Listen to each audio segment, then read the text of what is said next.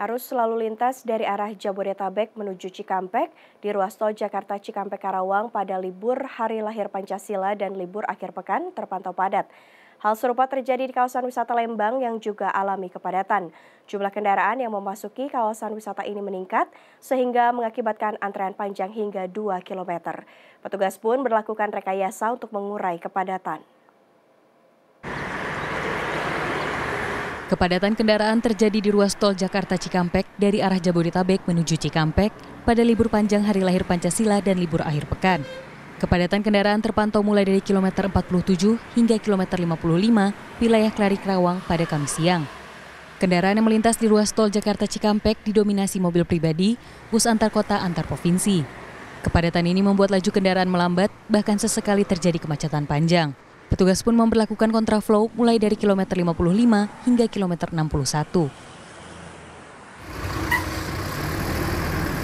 Sementara itu di kawasan wisata Lembang, Kabupaten Bandung Barat, terpantau peningkatan sejumlah kendaraan wisatawan.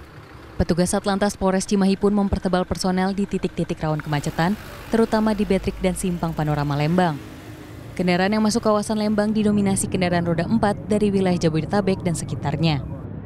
Tentunya kita ketahui eh, tempat-tempat uh, wisata di wilayah hukum Polres Cimahi, uh, terutama Lembang, ini uh, biasanya dipadati oleh wisatawan. Oleh karena itu, kami sudah menyiapkan langkah-langkah atau strategi seperti penebalan personil serta melakukan CB-CB uh, apakah nanti itu one way sepenggal atau uh, buka tutup.